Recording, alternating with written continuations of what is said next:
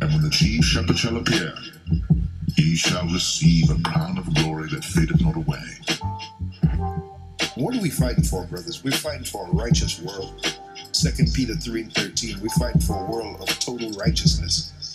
We're fighting for a world where we're going to be exalted, where we're going to be lauded, where we're going to be praised as the people of the Most High, as the Israelites, as the elect of the nation of Israel. Think about that, man. The elect of the nation of Israel, part of the 144,000. Think about that. Huh? That alone should inspire you. There's even a song, man. Oh, when the saints come marching in. We're those saints that's gonna come marching in. oh, I want to be in that number. We're in that number. We believe that according to faith. Come on, brothers.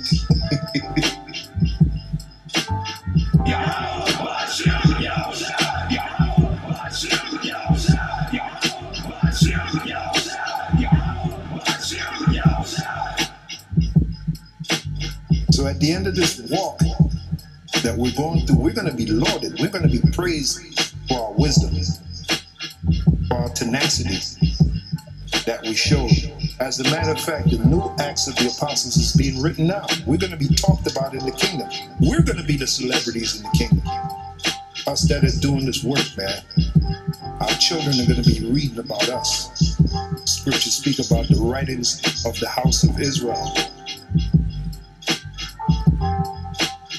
The tabernacle of the Most High, the kingdom tabernacle of the Most High is with men. Because the tabernacle of the Most High, that's like the temple of the Most High. That's the kingdom, right? So it's with men. So that means we got the knowledge. We already have the tabernacle of the Most High. We already got the kingdom. We already have it. Spiritually, we have it. But the physical part is going to come. The physical manifestation of it is going to come soon. Okay? The kingdom of the Most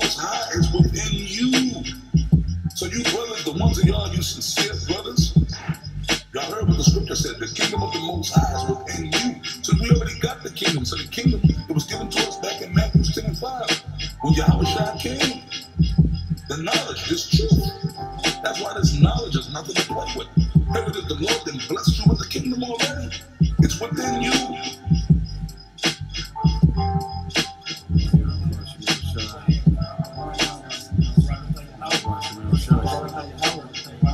Shah. Barakatah Yahweh. Barakatah Yahweh. Barakatah Yahweh Shah.